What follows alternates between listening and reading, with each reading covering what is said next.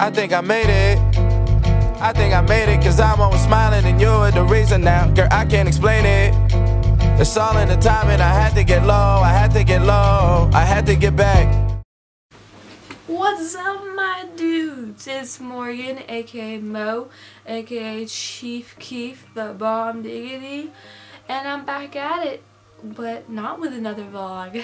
I'm back with a story time, a very serious story time. I've been wanting to do this for a while. I've just been procrastinating. Then something recently has provoked me to do this and you'll find out soon what that is. Um, I'm using my mom's very nice camera. She actually let me use the SD card, which is actually mine, but she took it because I wasn't using the other camera she got me because it sucks. Today, we are going to be talking about yeah, my injuries just to give you backstory, I am currently holding the award for most injured in my yearbook class. I'm going to keep holding that because this year, you know, Corona destroyed class, so we won't have a yearbook party for me to get crowned at for most injured again.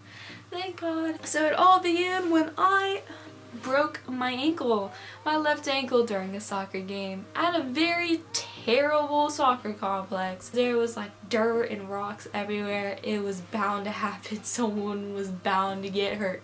And it happened to be me. So that took about maybe two, three months to heal and rehabilitate so I can walk normally.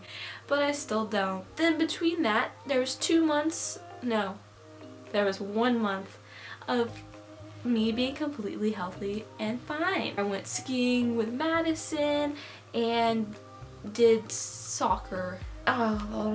And this is where it begins to go downhill. I remember the day, it's ingrained in my head, February 11th.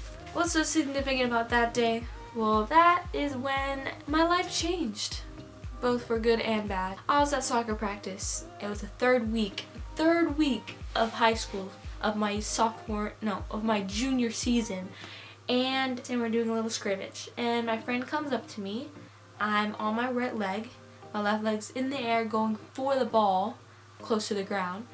My friend slightly nudged me and pushed me and I fell on the ground. But when I fell, it was kind of awkward on my left leg and it was inward and I heard a little bit of a crack. If any of you guys have suffered soccer injuries or knee injuries, you know what that means. I tore my ACL. When I went to the athletic trainer, she kind of knew. So she referred me to an orthopedist where they examined me and also told me I tore my ACL. I did not want my surgery. Not at all. Who wants a surgery?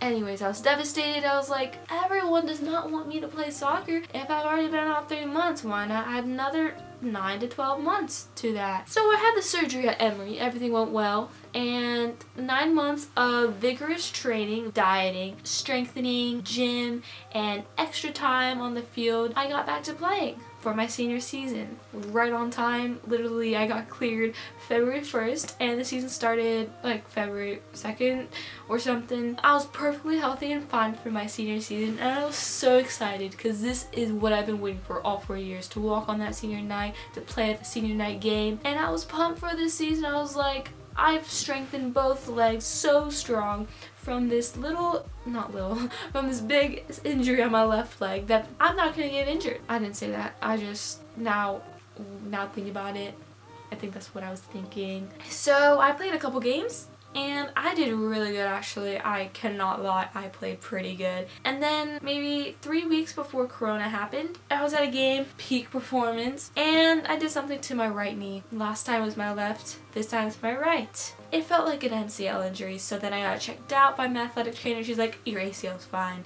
Your MCL feels a little strained. Your meniscus feels perfect. So I was like ecstatic. I was jumping, not because I knew this. I was just, I don't know why, I jumped. I was like leaping for happiness and joy and I hugged everyone around me, which was just my friend Frankie. And then I went to the doctor just to make sure and he also agreed that it was just my MCL. I might have sprained it. He did a Lachman test. My ACL was fine. Every other ligament, my meniscus was fine too. So he said just lay back on it for a couple weeks and then come back to me to see if it's still bothering you and then we'll get an MRI.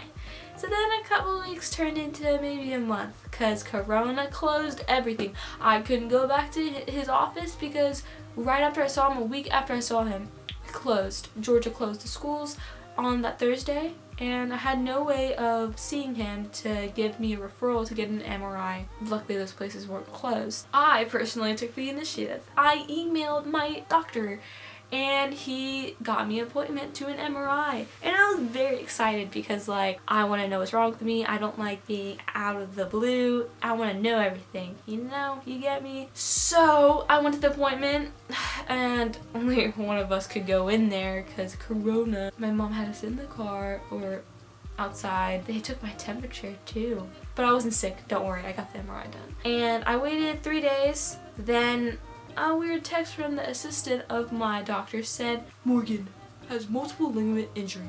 I'm referring her to a surgeon. You know what that means? Happiness in my household. I was freaking out. I was looking up these symptoms online because I like to self-diagnose, which is really bad. Do not self-diagnose yourself even though half the time I was right. I diagnosed my other knee before anyone else thought so. I got my MRI sent physically to my surgeon which I had for my other knee. He works at Emory. His name's Dr. X. I really like him. You guys should try him out. The name is really long. I don't know how to say it. That's why I call him X. Anyways, it got sent to him and it took the longest time because it had to be like tested and it had to be sprayed to make sure nothing was on it. It was just really annoying because I didn't know for a week or three weeks after this I don't know how long it was. This all happened pretty slow and yesterday, yes, yesterday, I had to wake up at 11.30. You know how hard that is for me right now? It's Corona, nothing going on, days mixed in like a blur, everything's the same, go to sleep at 6, wake up at 4, that's my daily routine. It was so hard, but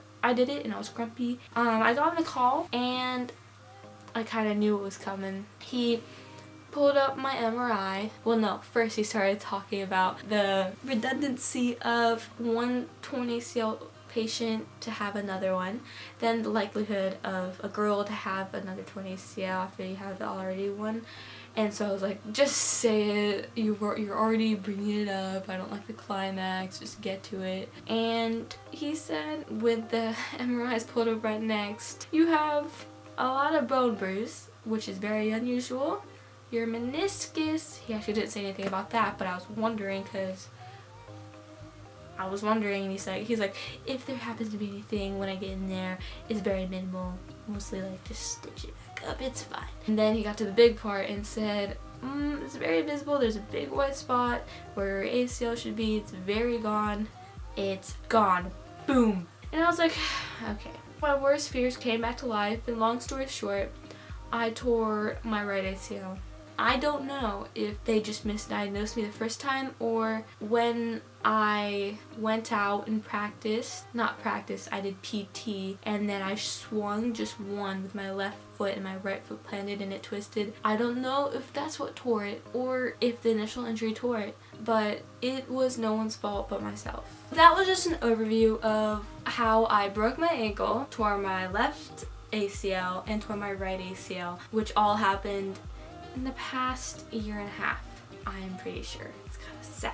I just wanted to start making this series because I made a mistake of last time not being able to or not wanting or willing to document what I went through and how I progressed and how I overcame this terrible injury with my left knee and I was like I want to do it with my right and I feel like I was given a second chance to do that. I'm going to be showing you guys like everything I'm feeling mentally, physically, um, what I'm gonna do to persevere and come out as a better athlete, healthier person overall. What motivated me last time was I had a senior season. That's what pushed me to be able to get my knee healthy and back and better than ever so I could be able to play in my senior night game my last time. But for my right knee, it's not quite that way because in August I'm going to college and I had to turn down some soccer scholarship offers because I didn't want this to happen again, but it did. I found motivation, don't worry guys. I'm not gonna give up. You probably already know I wouldn't if you know me. I don't give up. Competition is gonna be my key motivation for rehabbing my right knee. So I recovered in approximately nine-ish months for my left knee. And I could have gotten done like maybe at eighth month, maybe seventh month. I could have gone a little faster, but I had a hiccup in the beginning and that's when I had like a mental block and I was like, I'm never going to be ready for senior season, never going to work, there's no point of doing it. But then obviously I kicked my butt and like I did stuff. That wasted I think almost two months of recovery, I could have sped it up a little bit more. So that's going to be my motivation to beat nine months. Recover nine months or less, preferably. Thanks for listening to my story, and I hope you stay tuned for the next, the next a lot of episodes or story times or videos with me and my rehab. Chief Keef, Mo, Mo Swaggy is out.